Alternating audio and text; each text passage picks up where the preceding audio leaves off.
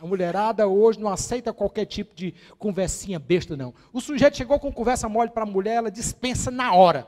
Porque a mulher não, não gosta mesmo desse papo, vai fuleirar. Ah, sabe aquelas cantadas veia besta antigamente, que os caras chegavam para a mulherada desse jeito assim, ó?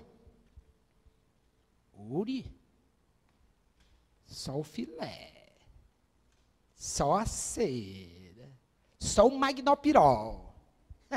ah, se eu pudesse, meu dinheiro desse. E tinha uns que ainda avançava mais ainda, ficava com uma coçadinha na perna que era para sensualizar. Uhum. Olá, pá. Rapaz, aquilo irritava.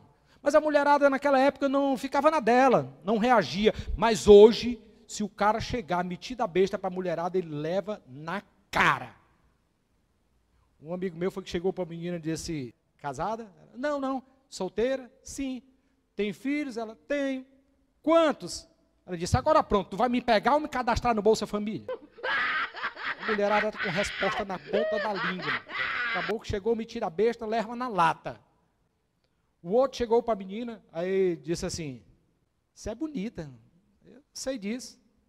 Seu único defeito é sua boca longe da minha. Ela disse: É questão de higiene. Na lata, meu filho. Responde: Não tem blá blá blá, não.